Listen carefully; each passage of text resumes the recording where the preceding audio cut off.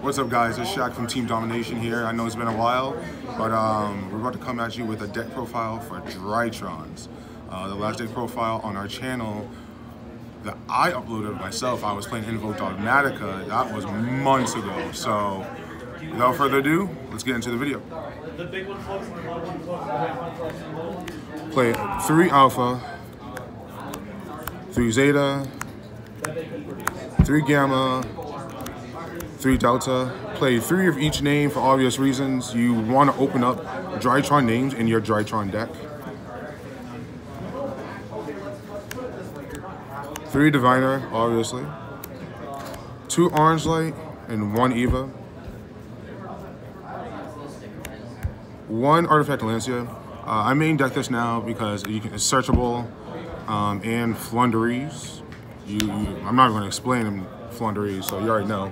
Uh, into the Drytron, uh, excuse me, into the Ritual Monsters. Benten, Idaten, and Natasha for the Cyber Angels. Ultimateness, and Draco. Uh, five Ritual Monsters. That's really about it. Uh, now going into the spells. Three Cyber Emergency. Three Nova. One Fafnir. I was running two, but decided to put in a third Delta because uh, there are multiple times where I just see two of these and it's just really bricky or just dead. One Meteonis. I've been convinced to just run one. I like the one. Three droplets. Two talents. One prep. One called by. And the additional name, Foolish Burial. Uh, that is 40 cards in the main deck. Uh, there's honestly nothing I would personally change. A lot of people are trying to get me on the DPE and Scythe build, obviously, because that's the new thing and everything. So but um, let's go into the extra deck. One Linkuriboh, one IP. I put Phoenix back in only because of uh, back row. Um, I may take it out, not quite sure. Uh, unicorn, I find myself not really going into Unicorn anymore. Um, usually when I go IP, I go into the IP with Goddess play. And it's so much better than just going IP, having Beatrice and Ultimateness, go through all your negates with Ultimateness, then using IP and one or two of your monsters for Unicorn. Um, so yeah. Uh, Oral Sword, you already know, uh, Apollousa. And then, like I said, uh, Underworld, Goddess. IP and Goddess play is just so good. A lot of people don't expect it. I think that's one of the best interruptions in this deck because they don't expect you to play Goddess, especially when you use IP. Use your monsters and one of their monsters and just go into this thing.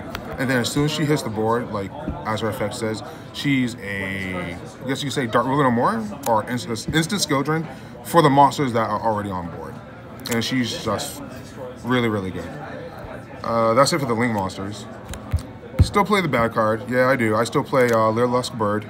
Um, I like her only because I can still make a four material Zeus. A lot of people don't expect me to attack directly with this. And then overlay for Downerd, and then go into Zeus. Um, two Mu Beta. I'm thinking about running three.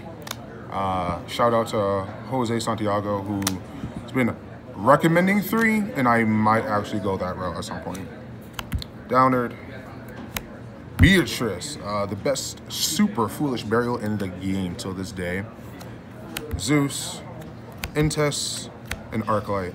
I was running two Arclight, but then I put in uh, put back in Phoenix.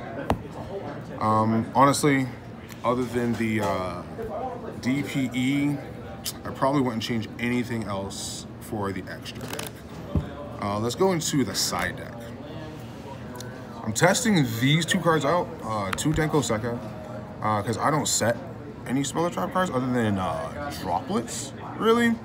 Um, but honestly, it's like, I, I just want to test this out, see how it goes, because as soon as like this hits the board, and if you don't negate the summon, you're not activating any of your set Speller Trap cards, and you're not setting any Speller Trap cards as long as she's on the board.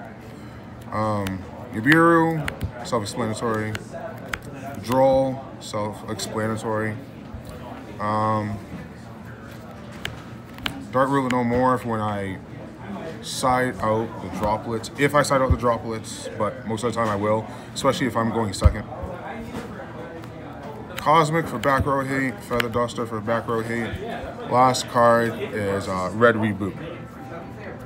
Um, I've been changing around the side deck recently. Uh, I have no complaints, but we're going to test the uh, Denko Sekka today. So, um, yeah, guys. Peace.